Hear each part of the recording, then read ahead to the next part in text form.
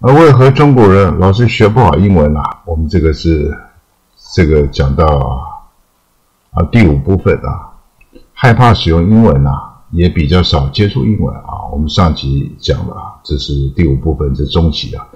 所以上这个上集我们讲了啊，有关于发音很烂啊啊啊，对方听不懂啊。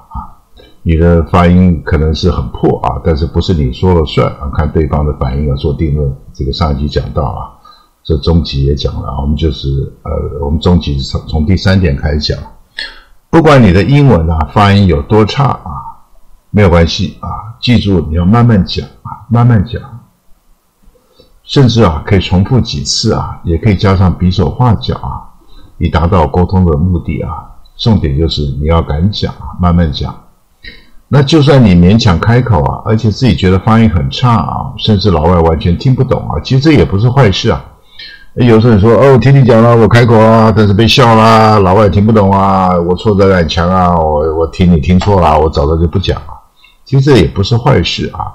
虽然你讲了啊，但是确实发音不好啊，老外是不会笑你的。可是他好像你听不懂啊，沟通了半天啊，他又走了，又去找别人了。啊，但是也不是坏事，因为你已经开口了，所以有的时候跨出第一步最重最重要。你不讲，一辈子不讲，一辈子就不会讲啊。但是说你第一次，就像骑脚踏车啊，第一次摔倒啊，学游泳啊，喝了几口水啊，这也不是坏事啊。喝了几口水，下次你就少喝几口啊，慢慢就浮起来了。这个脚踏车你摔了一次两次，你不会摔二十次五十次啊，也没那么笨啊，你摔个两三次差不多了。慢慢就知道啊，技巧在哪里，就先不要摔啊，然后慢慢的可以骑个几步，慢慢就会骑了，这个意思。啊，你回家以后，不妨想想刚才讲的那些字啊，啊，你发音不好啊，你就回家很懊恼，那没关系啊，过去就过去啊，至少你有开口了。一回生二回熟啊，问问家人同事啊朋友，总有几个英文比你好的嘛啊，问问他说哦，他跟你讲一下，也许他发音也不是很标准啊，可至少比你好一点，就哦，我知道了。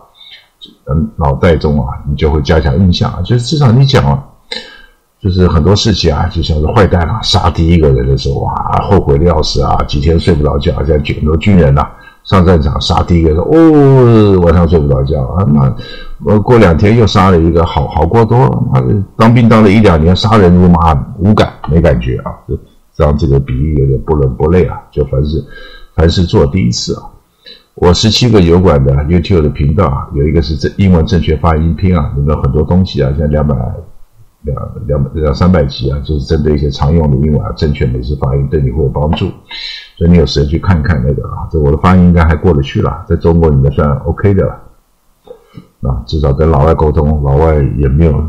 也没有讲我发音不好，甚至有说发音还不错的啊，也有，所以我发音在基本上 OK 了。那而且有音标嘛，有一些例句啊，一些解释啊，所以这个你想学正确发音，去看我那个，其中有一个，反正就打我名字刘培元了，三个字啊，十七个频道都会出来啊。那针对第二个问题啊，那我不知道从何说起。啊，啊我发音也可能也还可以啊，这不是发音的问题，就但是我就是讲不出来，我因为我不知道从何说起，啊，不管人家问路还是怎么样，因为我不我开不了口，因为我不知道这这个中文中文要表达什么，我可能想得出一点，可是英文要开始怎么讲，我我不习惯啊，讲不出来，不知从何说起啊，也确实有这种情况，这时候你不妨可以想想，我们讲一个观念嘛。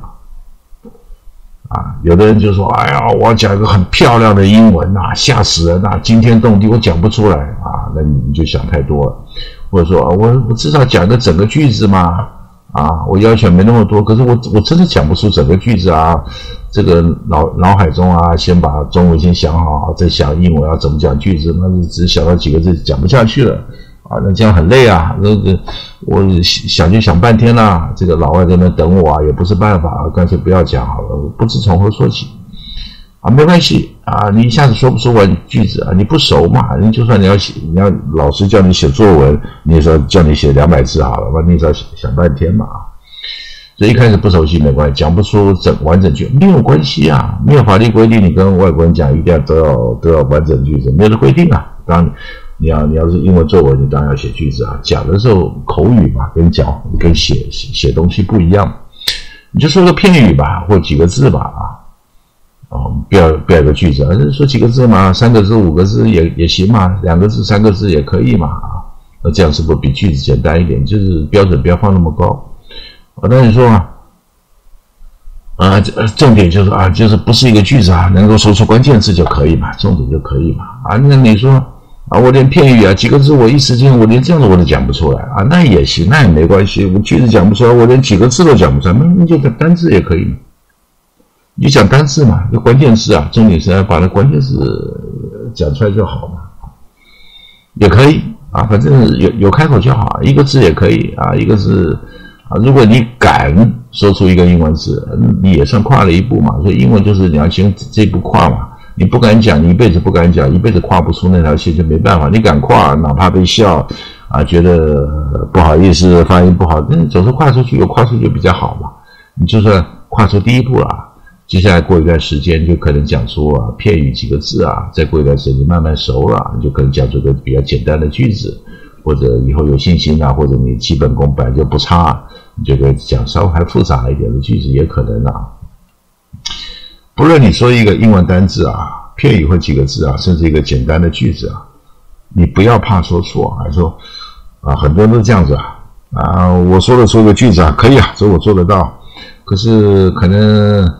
有文法错误啊，有语法的错误，可能有些单词用错啊，这是就就完蛋了啊！这没有关系啊，先先先说了再说，有讲出就好啊啊！除非说非常严重的错误啊，那就比较麻烦的。一般来讲，你说啊，这个两个动词没关系嘛，两个动词有两个动词嘛啊，没有动词也没也就没动词嘛。啊，不成句也不成句嘛，看起来像个句子，其实不，这个也没有人，这不是在上英文课嘛？你在跟老外沟通嘛？他有困难嘛？要问路嘛？要借厕所要怎么样？重点是要解决问题嘛？而不是在跟你上文法课、上英文课嘛？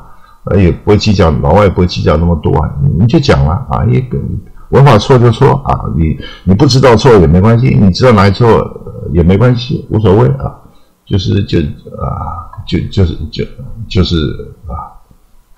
就是就是讲啊，你心中不妨胆子大一点啊，说错就说错，没有关系啊，天塌不下来啊，对方也不会报警。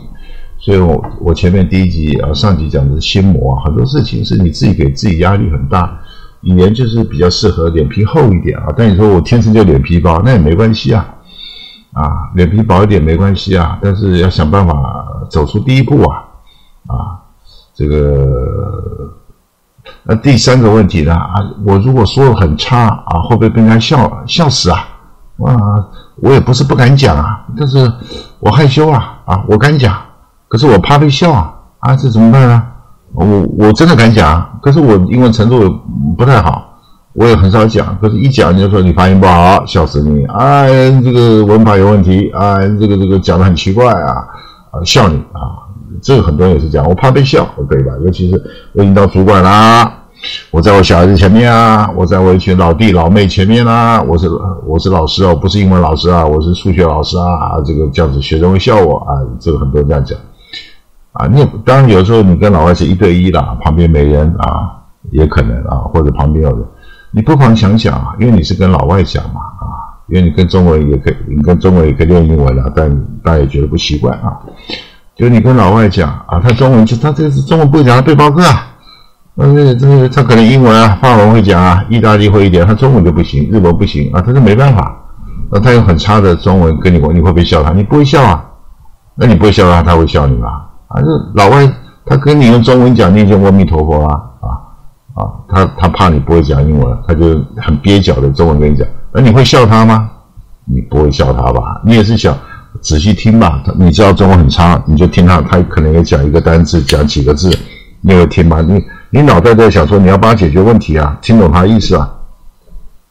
正常人你不会笑他，那同样的，你讲的话，老外心里跟你一样，人同此心，他也不笑你啊。又例如啊，当你到国外向一个老广广东人问路啊，广东人有时候中文不太好。然后他也很热心啊，你跟一个老广认问路啊，看本个黄种人嘛，呃，你讲国语他还听得懂啊，但是他就是广东腔啊，然后他告诉你答案，哦哟哟，厕所在前面啊，餐厅在前面啊，火车在前面，那你会不会笑？哦，谢谢你啊，啊，这这这国语太差了，广东话也不会嘛，你这样讲的话，你就你要说你神经病啊，对不对？你就不会笑他嘛，所以很多都不笑。那老外当然知道啊，多数中国的英文并不好，他们也没有打算啊，你会用很流利的字正腔圆方式回答啊，所以你的回答不符预期啊，在他们心中再正常不过了啊。当然，如果你是到外商公司应征啊，美国念书，那英文说的差就不行了，那个一个针对性嘛。我们现在是说不是嘛，跟工作啊、跟念书无关呐，就是马路上刚好杜丢啊，台语杜丢碰到。如果你回到老外啊问路等等问题的时候，旁边的朋友笑你英文说的很烂，哇，那这种朋友损友啊！啊，朋友应该是真正好朋友，应该是鼓励啊，哎，不错不错，你敢讲啊？这个，如果朋友还旁边慢跟你叽叽笑啊，笑你说，哎，英文好烂啊，丢死人！那这种朋友也不是说绝交了，就是这朋友不够意思嘛，要不然你去讲嘛，对不对？你也不敢讲，那我讲你又笑我是什么东西啊？啊，所以英文程度啊不好的人，大致分为两类的人啊。第一类是讲不好，但是不怕讲，呃我是讲不好，但我不怕讲，啊，这种人很多啊，就是像以前台湾啦，有美军啊住在台湾啊，有很多那个八 girl 啊，九九八女，他没上过英文课啊，搞不好也没受什么教育啊，啊，这个讲的叽里呱啦的，讲的很流利啊，但是仔细大家会英文好的，我没听就说，哎，这发音也不好啊，就是文法不对啊，那不无所谓嘛。他不是在上英文课嘛？他要做老外的生意嘛？就陪酒嘛，跟他聊天扯淡嘛。老外讲的他听懂一半也好，听懂三分之二也好，反正就是就沟通一下嘛。然后他只要表达哦，呃，我干敬呃跟你敬一杯酒啊，你今天心情好不好？就是扯淡嘛，啊，所以很多八哥讲的很好，很至少很吓人，很流利啊，讲多了嘛，啊，那这种人以后情况可能有两种啊，第一种就是说。啊，他他是讲不好，但是他不怕讲啊。以后第一种情况，他一辈子还讲不好，因为他他他的基本功就不行嘛啊啊。但是也没有什么不好啊，但是至少他能讲，也能基本功就可以了。他也没有说我英文多好，我也不可能说我要再去重新再去上什么补习班啊，我再怎么看外国片啊，我再拜英文老师啊，那我不需要，我工作赚钱嘛，那也没关系啊，反正能沟通就好啊。啊，他也不需要讲的。多好，老外也不需要，能沟通就好了啊，这也算不错。而第二种情况是他他会越讲越好，就自我要求高一点啊，越讲越流利，越讲越正确。他有时候会翻翻字典，有时候看看美剧，有时候跟老外说没关系啊，因为老外有时候他不会跟着你。第一个他也没那个时间，没没那个心情啊。啊，第二个他可能是觉得不好意思啊，就是好像批评你啊，好像有点批评啊，怕你不高兴，所以很多老外他不讲啊。当然你如果跟他说没关系。啊，我我我也想学学英文。我如果哪些发音真的很不好的，啊，哪些很明显错，你跟我讲没关系。你这样跟他讲了，他他就说好，那我知道。如果啊小错误就算了，不然讲不完嘛啊啊，比较明显错误，他跟你讲一下啊啊，越讲越正确啊，英文会进步啊。那第二类就比较麻烦了，讲不好更怕讲，哇，那这那这就这就很难很难救了，因为凡事都有第一次啊。如果一辈子的英文就是说。他的心态就我打死就是不开金口，就不讲，打死就不讲，不管我学多少，我就是不讲，打死就是不讲。哇，那滑头救不了你了啊！这种人看我这集也没用啊。你，嗯，我不管说说破了天，你我都你讲的不管有没有，我我就是不讲啊。我英文有没有学是我的事情，那我打死就不讲。哇，那那就那就没救了，那没办法，老天爷没办法。然后进入到第二个课题啊，就说。我没有机会使用英文呐，啊，那这种破解啊，要怎么破解啊？所以这边就两个课题啊，所以我们讲到中国为什么学不好英文啦？啊，英文讲不好啊，啊，两大课题。我们前面讲的就是说我怕心魔啊，因为我没有什么心魔，我也敢讲，我英文程度也过得去啊。可是不能怪我，我没有机会使用英文啊，不能怪我啊。所以你看我很少讲英文，不怪我没有外国朋友啊。我们公司全部都中国人了啊，没有，没有，没有啊，没有，没有人是外国，我是没机会啊，我不然的话，因为讲很好，但我没机会使用，哎，讲的义正辞严呐，啊，讲的很这个很很有说服力啊，啊，但是也是假议题啊，那为什么假议题？你当然有机会使用英文了啊，那怎么破解？我们就把下集把它讲完啊，终集讲这里。